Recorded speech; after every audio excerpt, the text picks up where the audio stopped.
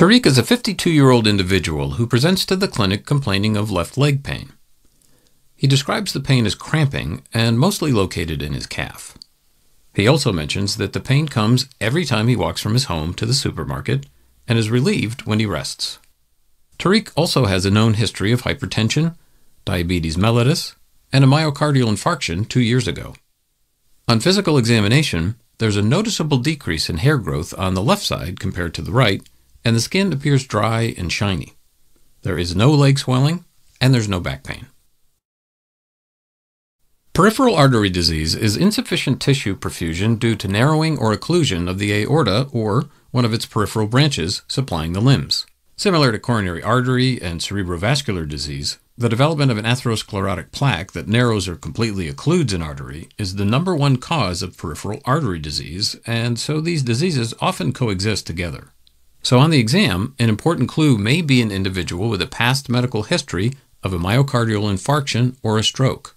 In addition, look for risk factors of atherosclerosis, such as hypertension, diabetes mellitus, smoking, and hyperlipidemia. The symptoms of peripheral artery disease depend on how bad the occlusion is.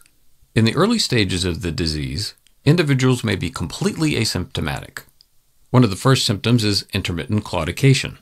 This is characterized by cramping pain in the affected area that comes about during exercise and is relieved with rest.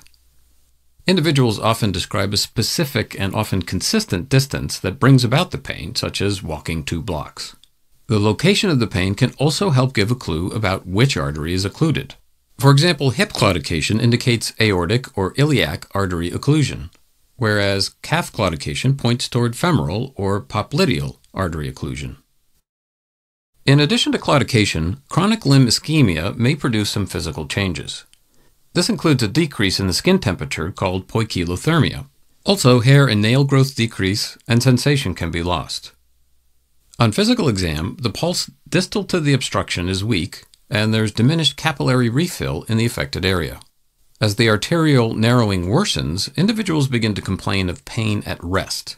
This is classically worse at night when the individual is sleeping, and gets better when they stand up or hang their leg off the bed due to the effect of gravity on blood flow.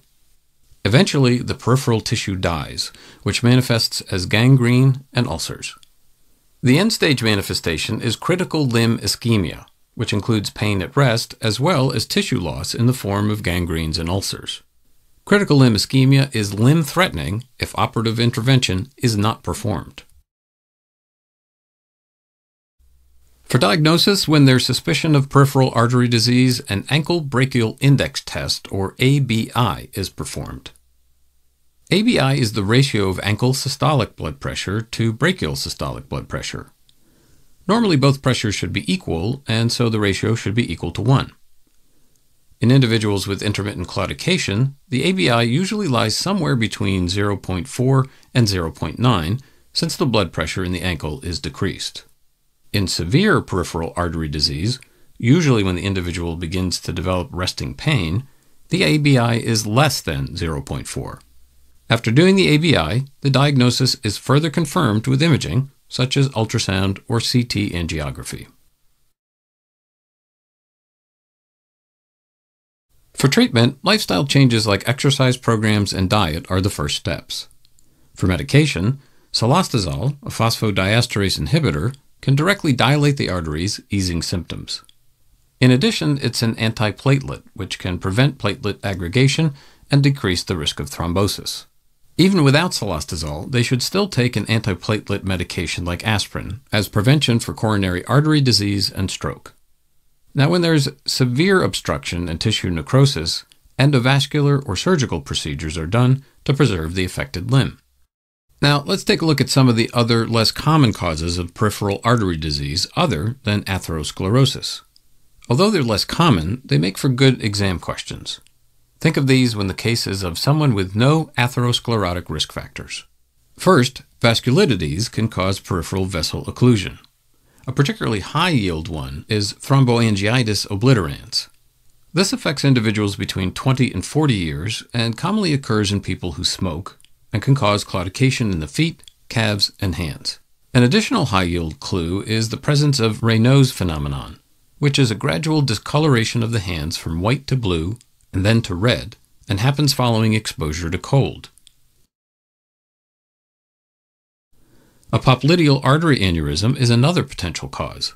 Due to the stasis of the blood in the area of the aneurysm, a clot can form. That clot can then embolize and occlude smaller vessels in the legs. In addition, atrial fibrillation can dislodge clots that travel from the heart to the limbs, causing the same kinds of problems. A high yield concept is that with an arterial embolus, there is a sudden onset of symptoms rather than the gradual onset of symptoms caused by atherosclerosis. All right, next are important mimickers of peripheral artery disease that should be on your differential diagnosis list. First is deep vein thrombosis, which can also present with leg pain. However, deep vein thrombosis is usually associated with leg swelling and redness, and individuals have risk factors such as immobility and hypercoagulability. Next is lumbar spinal stenosis, a condition in which the central canal or neural foramina of the vertebrae are narrowed due to degenerative changes associated with aging. Because it compresses the nerves that run down the leg, individuals present with unilateral or bilateral leg pain that is worse with walking and is relieved with rest.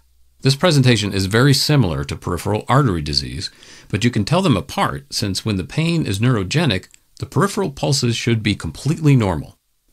In addition, the pain in neurogenic claudication is also relieved by flexing the back, or bending forward, and is worsened by extending the back, or bending backward. All right, as a quick recap, peripheral artery disease is narrowing of the peripheral arteries, usually because of atherosclerosis, but other causes include vasculitis and arterial emboli. Individuals typically present with a spectrum of symptoms ranging from intermittent claudication to resting pain to eventually developing gangrene and ulcers. Other symptoms of chronic ischemia include hair loss in the affected area, dry skin, decreased peripheral pulses, and loss of sensation. The diagnosis is initially made by performing an ankle brachial index with an ABI less than 0.9 being abnormal. Imaging with ultrasound or CT angiography further determines the location and extent of arterial narrowing. Important differential diagnoses to consider include deep vein thrombosis and lumbar spinal stenosis.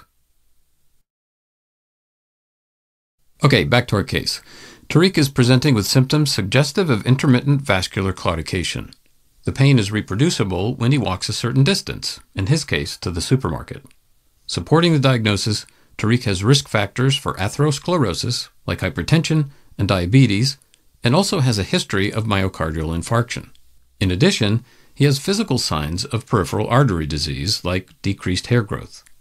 He also doesn't appear to have symptoms of the mimickers, with no leg swelling and no back pain. Tariq underwent an ABI test, which showed a ratio of 0.5. CT angiography confirmed narrowing of his left femoral artery, which is consistent with the location of his pain in the calf.